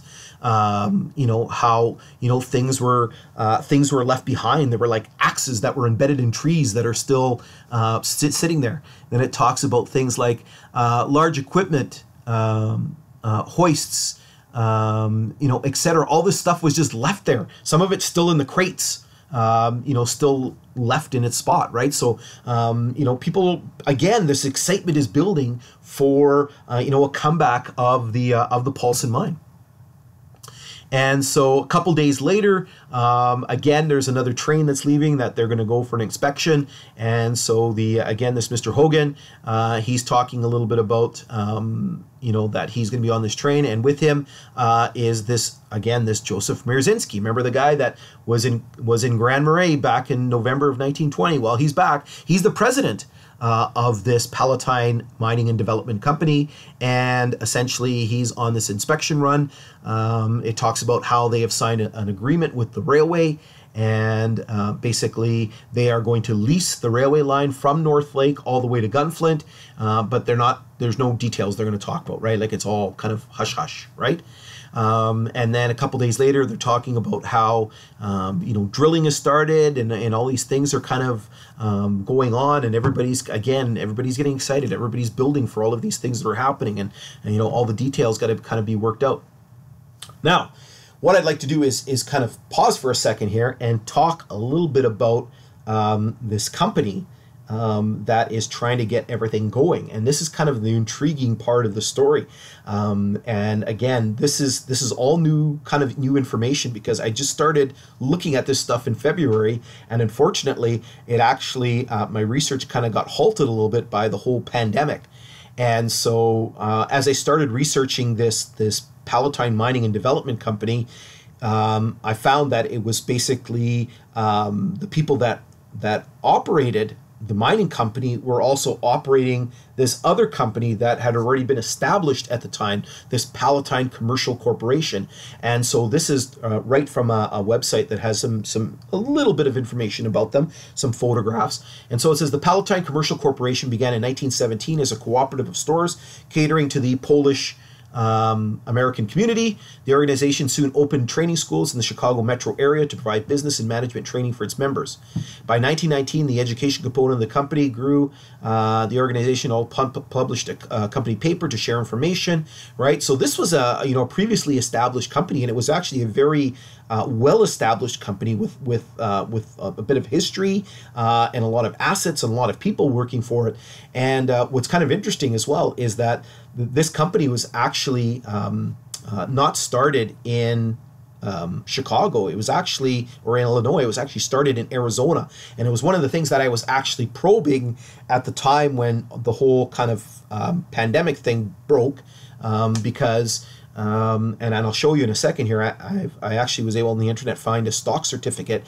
And so the Palatine Commercial Company was actually started in Arizona, and that's kind of the really confusing thing is I don't quite understand why it was started, and so I was actually making inquiries in Arizona trying to get their articles of incorporation, uh, and I was kind of corresponding with um, w- with a woman at the uh, uh, Arizona Corporations Commission, and like I said, this whole pandemic thing kind of broke and um, I guess when things settle down a little bit, I'm going to have to try to get back in touch with her because they were having trouble trying to find the articles of incorporation. But anyway, uh, again, I was able to find some of this information uh, on the internet. And so this is the Palatine Commercial Corporation. This is their office uh, in Chicago right? So again, not you know some sort of fly by night sort of corporation, not somebody that was looking to do shady things. Um, you know, obviously by the judging by the size of their uh, by their office is a well established corporation. Uh, this was one of their stores um, in the in the, the Chicago area. So again, you know, very well established company.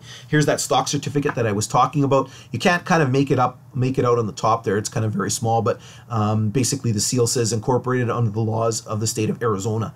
And again, I'm you know hoping to uh, to sort of probe that a little bit more once things sort of settle down. And so, uh, again, the people that were behind that Palatine Commercial Corporation were the ones that, uh, uh, you know, incorporated this mining company. Why they kind of went into mining, why they got turned on to, you know, this iron deposit in Cook County, Minnesota. again, um, I mean, maybe something will turn up, maybe something won't. We we don't know. Uh, anyway, I was able to get their, their the articles of incorporation for the mining company um, from the state of Illinois. And so basically, um, you know, it talks about, um, you know, how it was uh, was uh, incorporated, um, you know, in um, uh, 1920.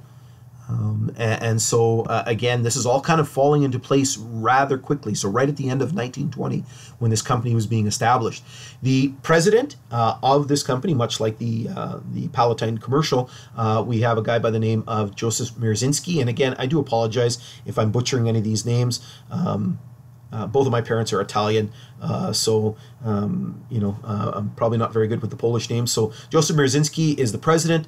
A guy by the name of Frank Wydra is the secretary, and the treasurer is a guy by the name of Stanley Grabowski. Uh, and again, these guys are the ones who are very much associated with the uh, with the Palatine Commercial Corporation.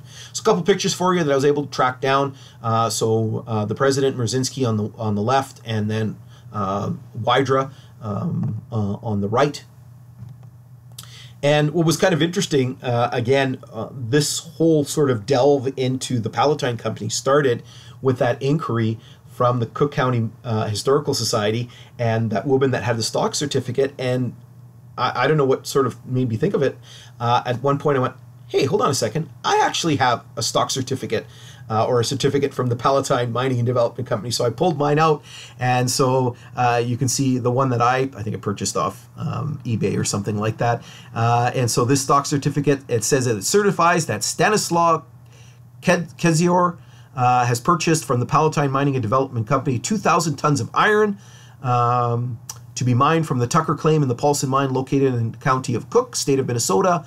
Uh, and it's dated the 10th day of February 1921. And then you can see the signatures at the bottom. There's Frank Wydra's signature and Joseph Mierzynski's um, signatures, right? So uh, my own little personal piece of uh, collection of the Palatine Company.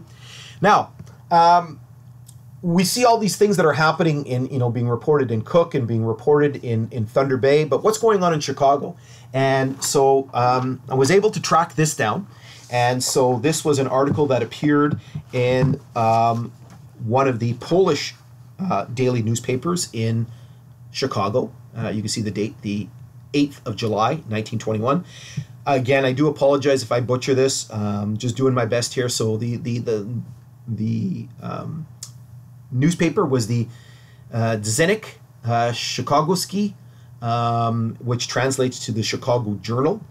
And uh, again, um, this is all Google Translate. So uh, again, I apologize to anybody if I butcher this. And so this is this is literally a full page ad in this Polish daily newspaper. And essentially, what you can see in here uh, is essentially you can see uh, obviously it's a map. There's Gunflint Lake. There is the railway line. And so you can see the original railway line coming down, making its big loop into the switchback, and then making another switchback to the Paulson Mine. Now, what is interesting though, you do see another uh, railway line appearing here. Uh, that's going into a different spot, into a different section of the of the township, right? And so what you can see here on the map is you can basic. I'm, I'm guessing this crosshatched area is the the iron formation, and so it says that um, this chunk here. Uh, I think it says 850 acres or 950 acres. It says the Paulson Mine, Palatine controls on a 99 year lease. Uh, then this big chunk over here, 1,400 acres, 1,440 acres, Palatine Mine uh, owned by the Palatine Company. And then down here, uh, the Tucker Mine, uh, it says Palatine controls on a 99 year lease. Now, what does it say in Polish? Uh, again, according to the good folks at Google, uh, the top line says 25 um, million tons uh, 250 million tons of iron uh, on 2,500 acres of mine land. Um, and then it says obviously Palatine, uh, which is the name of the country, uh, the company. And then at the bottom, um, it says uh, these mines are located in Minnesota, which produces over um, 50 million tons of ore annually. And so essentially, what we have is we have these guys trying to sell this investment uh, to the Polish community in Chicago, right? And, and so they're trying to uh, trying to line up the investors to invest in this in this enterprise. So, um, like I said, kind of uh, kind of interesting. And I do have quite a number of uh, other articles and things like that from this uh, from this uh, Polish newspaper. Um, again, not easy to sort of translate everything. Um, not sure I'm quite understanding everything in there, but sort of doing my best. So then, fat, you know, into July, it's talking a little bit about you know how the uh, the drilling's going on, everything's kind of falling falling into place. You know they're they're negotiating for the rebuilding of the railway line, and, and work's happening, and everybody's kind of getting excited. Um, and so, uh, fast forward to the end of August, um, we basically have a very very important visit, and so it's essentially talking about uh, 47 directors of the Palatine Mining and Development Company, with its headquarters at Port Arthur, arrived this afternoon in autos from Duluth. Um, so basically, these guys drove from Chicago to Duluth, then drove up the North Shore uh, to uh, Thunder Bay. And what they were going to do um, is basically visit um, this site, right? And so uh, essentially, you have uh, the original members of the Palatine Company, and they're essentially bringing up all these potential prospective investors. And they're going to go check this out to i guess to show these guys um, you know this is what we're after and um, this is why we want your money. Uh, so it talks about how they're all polish and are located in many cities in the united states. They grouped in chicago. Uh, it says they will leave by train special canadian national train on wednesday for gunflint uh, and an inspection of the paulson mine and property. Um, and, and you know again there's all this excitement. However fast forward a little bit right? That that is literally that visit happens, and then all of a sudden after that, nothing is heard from them, and so um, this is a, a, report published in a Canadian um, publication. So this is the uh, the Canadian uh, government, the Department of Mines of Canada. Uh, a report that was published uh, in late eight, 1921. Uh, uh, so it talks about says in early 1921, a company known as the Palatine Mining Corporation uh, said to be a subsidiary of a large Polish American cooperative society having its headquarters in Chicago, secured an option on the Atikokan uh, Iron Company's blast furnace in, in, Port Arthur, with the declared intention of putting it into uh, putting it into blast on ore from the old Paulson mine. Um, they also secured from the city an option of 200 acres of land. Uh, start was made on overhauling the blast furnace plant, and a little work was done in extending the Port Arthur Duluth and Western Railway from North Lake to Paulson mine. A change appears to have then been made in the original plans, and the idea of using the Paulson mine or Paulson mine or abandon. At the time of my visit in October, so obviously the person who wrote this report actually went to the Paulson mine site, work was practically at a standstill, and the company was said to be considering the acquisition of the Atikokan magnetite mine.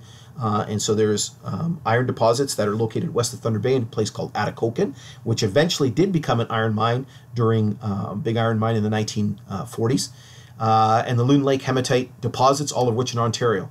Uh, and so all of a sudden there's this there's this shift there's this change.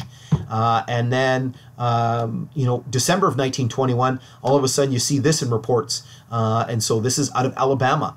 And it says the palatine mining and development company has filed trust deeds covering 6000 acres of mineral lands in dekalb county to secure contemplated bond issue uh, using the development of coal and iron properties right? And so then it talks about you know the uh, you know the people involved with that. So all of a sudden they literally go from doing all of this work all of this you know um, you, know hype about you know the Paulson mine and, and doing all these things all of a sudden crickets right? And all of a sudden now we're doing things in in Alabama. And as far as I can determine nothing ever happened in Alabama as well. And so the question sort of becomes is you know what kind of happened with all of this? Like how did they go from you know this massive interest to all of a sudden they make this exploration and all of a sudden poof it, it disappears right and, and we don't as of right now we really don't have an answer obviously something turned them off of this and what's interesting um, is i'm actually going to read you a little excerpt from uh, this book um, and if you don't have a copy of this, um, you can pick this up. This is uh, a book uh, called Pioneers in the Wilderness. You can see it's written by um, Dr. Willis Raff, and is basically the history of uh, Cook County, Minnesota. And you can get a copy from the uh, the Cook County Historical Society. We'll plug for them there. Um, and so in there, he actually talks about this. Now, um, Dr. Raff didn't have access to some of the same information that I presented to you. Uh, and, and, so he was kind of, you know, working with very limited kind of resources. Um, but um, it's kind of interesting at, at, the end of the section where he's talking about this, um, he actually kind of sort of postulates, right, how this kind of played out, right, uh, and he talks about this this visit uh, that was made, and so um, he says. Um, imagine more than 50 men from big cities in more than 20 canoes, right? Because there's no there's no way to get from the end of the railway at North Lake to to to to Gunflint right? The, the, the there's the big trestle on, on North Lake is out. There's no way to get there. The line's basically been abandoned for 20 years. Uh, some of the steel's been ripped up, right? So they're going to have to basically travel over water. So imagine more than 50 men from big cities in more than 20 canoes, the winds of North Lake, the confusion of the short port, uh, railway portage into Little Gunflint, uh, which again, if you watch some of my other presentations, you'll know what I'm talking about here. The headwinds on Gunflint Lake, or was it perhaps one of those rare uh, days of calm water? Uh, Gunflint Lake is very notorious for being rather rough. Uh, the overnight camp at the Narrows. Imagine also the confusion of breaking camp at sunrise, the long trek to the west along grown over and eroded trails and wagon roads, their views of fire destroyed trestles, their soaking wet boots, the mosquitoes, the bushwhacking necessary to arrive at the widespread diggings, the sprained ankles and sore muscles, their clothes wet from perspiration or rain, the short tempers, for all of those, uh, for all along their uh, backwoods odyssey, those pilgrims of mining investments uh, must have become more and more keenly aware of the difficulties they faced. The impossibilities of convenient travel to Grand Marais over the wagon road were obvious. From their own recent experience, they could suspect that it would cost um, what it would cost to reconstruct the PD from North Lake Station to the mine site, uh, for they had actually seen, had inspected the road, the roadbed along several stretches north of Gunflint Lake. Um, and then it goes on to say, whatever their reactions to the experiences, whether of dismay or continued optimism in the face of serious obstacles, the Polish delegation disappeared from the face of the earth, so far as newspaper readers in Cook County were aware. Not one more word about the men or their planned enterprise was uh, ever again appeared in a local paper. Um, Uh, and, and, so I, I think um, Raff sums it up well. Uh, I think you know these these guys uh, that started the Palatine Company had some great ideas. They brought these individuals to take a look at this, and these investors took one look at this and went, "Nope, we're out." we're out, right? Like this is this is ridiculous. Like I mean, the amount of money it's going to cost to rebuild the railway to open this all up, this is not worth our investment. We're just going to end up losing our shirt. Um, and, and, you know, when it comes to the Paulson mine and it comes to the Gunflint Iron Range, uh, this was really the last uh, sort of serious attempt to to exploit uh, the iron that was there. Um, obviously, the um, uh, you know the, the properties changed hands back and forth several times. There was some, you know, some explorations and things that were done in the years afterwards, uh, almost right up until the time that, um, you know, the uh, the Boundary Waters canoe area was was um, you know developed. Um, you know, the the idea was sort of still sort of kicking around. Now that Iron Range does continue north of the border, and uh, again, there's been some. Uh, ideas kicked around about kind of opening up the uh, the range again. Um, there were some even probably about five or six years ago, I had read some things about some explorations being done uh, in the Whitefish Lake area. Uh, again, I'm not sure how that would all kind of play out. The uh, the railway line is long gone, and um, since the late 80s, CN has basically sold off the right of way. Uh, so that is no longer an option. So uh, again, that kind of brought to an end this whole sort of uh, sordid experience. And um, you know, I mean, hopefully you've kind of uh, enjoyed all of this and and and seen um, you know how this all kind of played out over many many years. There's still tons and tons of stuff that that we're still learning. Like I said, just as of two weeks ago, I, I, I was able to get my hands on on those materials from from U.S. Grant, and um, all of this stuff with the Palatine Company is is all. Uh, some of it is relatively brand new, and again, I'm still sort of in the process of digging into it. My plan is once I finish my book on this other topic that I'm working on, uh, which is the subject of one of my other presentations that you can take a look at, the Gunflint and Lake Superior Railroad. Um, uh, I plan to actually, I want to write an article, uh, an essay uh, about the uh, the Palatine Company, and uh, again because it spans both sides, right? This company, you know, was planning on um, rebuilding the railway, of shipping the ore to to Thunder Bay, so it involves um, you know people and, and things on both sides of the border. So as I wrap up tonight's presentation, I uh, just want to leave you with uh, with a few last little things here. First of all, uh, I've shown you some photographs. I've shown you some places. Uh, again, some of these places are accessible. If um, you know, uh, if you live in the area, you're very familiar probably with the uh, with the Centennial Trail. if you're not, you can travel up the Gunflint Trail and you can visit some of these places using the Centennial Trail. It's about a three mile loop uh, trail that will cover parts of the railway line, and you will see some of the uh, the, the, the workings that were done. Um, again, um, and and this is sort of a nod to the um, uh, the folks at the U.S. Forest Service. Um, you know, please remember that um, you know these uh, these are federal lands and they're protected by law. Um, please refrain from sort of picking up anything or removing anything.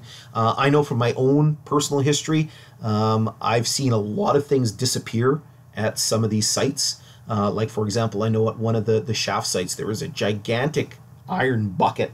Um, you know, the thing must have been, um, you know, maybe about three feet tall by three feet wide. It was this huge uh, metal bucket, uh, and uh, somebody took it. Somebody removed it.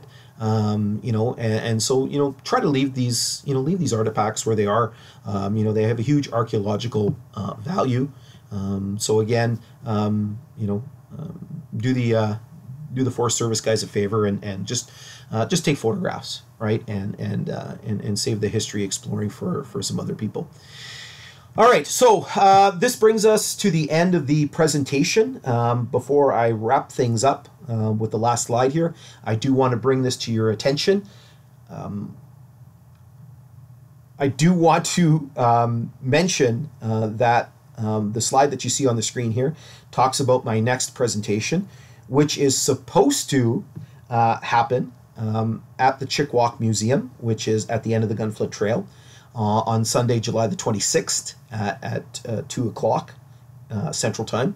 Uh, I'm going to be speaking uh, on a topic called The Country Beyond, which is basically talking a little bit about life on North and Gunflint Lakes. Um, during the period that essentially the railway was um, in operation there. So it's essentially an, a, an, amalgamation of some of the things that I've talked about here, talked about in some of the previous presentation. There's going to be a lot of new material that I'm going to be built, uh, bringing in. So um, you know some some new angles, talking a little bit more about people and talking a little bit about what these these individuals were doing, kind of uh, kind of at the time. Uh, so that is planned to go Sunday, July the 26th. Now the reason why I'm I'm sort of hesitating a little bit is because um, that may or may not happen. Um, if you've been paying attention to the news, the um, both governments, so the American and the Canadian government, have agreed to keep the border closed uh, for at least another month. And so it is now closed almost to the end of June, and we don't know what's going to happen beyond that. And so um, if that is extended, I might not actually be able to get to the Chik-Wauk Museum for the presentation, and so I might up, end up having to do some sort of um, virtual presentation for the people in attendance. We'll have to uh, I'll have to talk to Bonnie at the uh, at the museum, and um, you know talk a little bit about what our what our options are uh, once uh, once we get a little bit closer to that time. But just so you're aware of that, um, and uh, you know that that is coming up. So uh, last slide here, and again, if you've seen the presentation before, you are familiar with this. And so this is just a recapitulation of some of the things that you saw at the beginning of the presentation. So again, ladies and gentlemen, um, there is a lot of information that is out there uh, on some of these topics. Um, I do have a website that you can take a look at, and I do have a, a whole section on uh, the Paulson Mine. And it does have some of the historical things that we've talked about. It does have some pictures, some of the maps I showed you. Also has uh, link to some YouTube videos um, that I've shot over the years. Um, do have uh, social media presence, so I am on Facebook, uh, Twitter, uh, Instagram. Again, if you have any questions or anything that you would like to ask, uh, please do not hesitate to contact me at the uh, email address that you see up there on the screen. And um, again, uh, check out some of the social media pages. I'm always uh, out and uh, doing things. Uh, for example, um, not this past week, weekend, the weekend before, I was out at North Lake uh, on the Canadian side of North Lake, obviously. And so taking a look at some things down there, and hopefully, uh, once the uh, the border opens back up, uh, I do have some field work that I'm planning to do in Minnesota, and so hopefully I can get down there once again. And um, there's a few people I'd like to see and to visit and chat with. Um, haven't seen them in a while, and obviously there's some uh, some work that I would like to do as well. So again, uh, ladies and gentlemen, I'd like to thank everybody for tuning in this evening. Uh, it's been a pleasure to um, do these presentations over the last couple of months.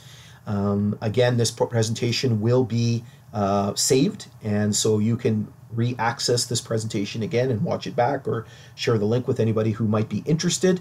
Um, uh, this presentation, all the other ones are available on my YouTube channel, which you can see the link that is there.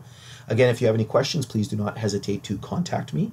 And so um, I want to wish everybody a good evening. And again, um, maybe I'll hear from some of you soon. And I want to um, encourage people, if you can, to come in uh, to the presentation at the Chik-Wauk uh, in July, if you can make it, if I can make it. Uh, and again, I just want everybody to stay safe. And um, thank you again for tuning in. Have a good evening.